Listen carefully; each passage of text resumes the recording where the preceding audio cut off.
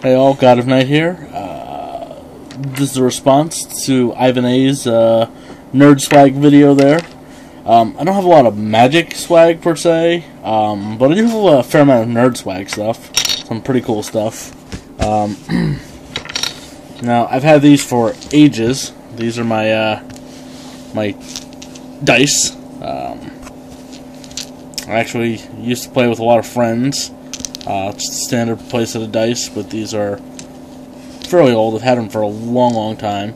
And uh, I recently took them out of storage and taught a few new people uh, the ins and outs of D&D and the joys of, of such. Um, so, you know, you can tell they've gotten a little bit of love and use. But these are uh, these are my Nerd Swag dice. So, whilst I don't use them necessarily for Magic, I mean, I start I actually could start using them for Magic. These are my little nerd swag things. The only relatively cool magic thing I got is my Orzhov pin that I wear to, you know, for luck to my FNM like every Friday since I got the damn thing. But yeah, that's my nerd swag. Uh, hope you guys like it. Looking forward to seeing some other videos. Alright, God night, signing out.